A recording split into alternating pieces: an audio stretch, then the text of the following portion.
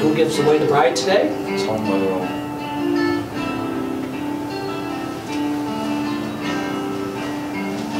Give her a hug Oh, or a proper kiss if you need. yeah, she is, Just a little bit more in the center. Great. We are gathered here today at the Little Neon Chapel in Las Vegas, Nevada on April the 1st, 2018 at 6 p.m.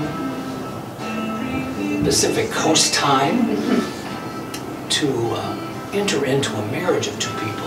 And marriage is something not to be entered into lightly or just in haste. It is something thoughtfully and with deep realization of the obligations and responsibilities that you both, Mark and Rachel, have as this journey begins with you. So I ask you both to treat each other with respect and love, and then maybe kindly think of the first time you met, and then when you fell in love, I don't know if it was instantaneous fairy book or it took a bit for each of you, and then that day when you decided to get married, and now here we are, April the 1st, 2018. And so I'm going to ask a couple of important questions. First to Mark. Mark, do you take Rachel? I do. Oh, but I- I've got a bit of a longer question. I understand you take her. Uh, Rachel, to be your, keep looking at each other that way, Ben. Uh, To be your lawful wedded wife, to have and to hold from this day forward, to love, honor, and cherish in sickness and in health, for richer or for poor, forsaking all others, for as long as you both shall live. If so, say, I do. I do.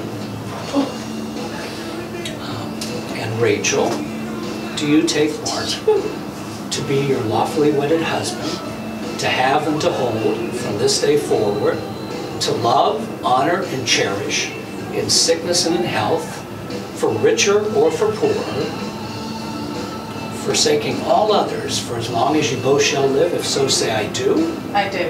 Okay. And uh, are we doing exchanging rings today? Yes. Great, may we have the rings?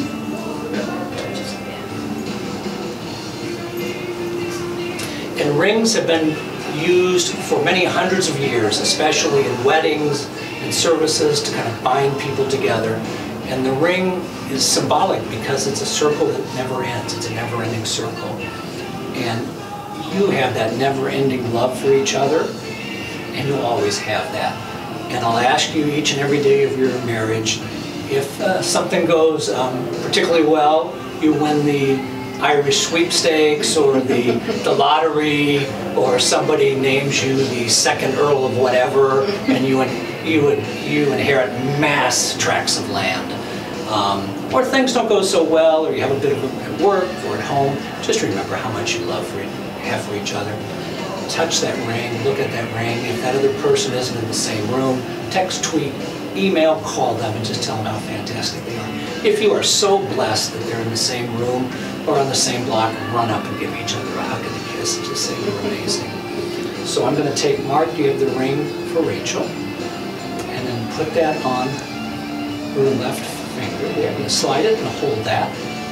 You're going to look at her, and you're going to repeat after me. You're going to say, Rachel, Rachel, I give you this ring I give you this ring as a symbol of my love as a symbol of my love and that I am choosing to share and that I am choosing to share my life's journey with you. my life's journey with you. I give you this ring I give you this ring with the pledge to love you with the pledge to love you today, today, tomorrow, tomorrow, always, always, and forever. and forever. And then like those fairy book stories on her hand, give her a princely kiss on the hand.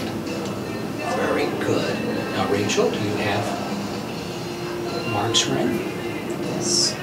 Put that on his left finger, hold it, and then repeat, say, Mark, Mark, I give you this ring I give you this ring as a symbol of my love as a symbol of my love and that I am choosing to share and I'm choosing to share my life's journey with you. my life's journey with you.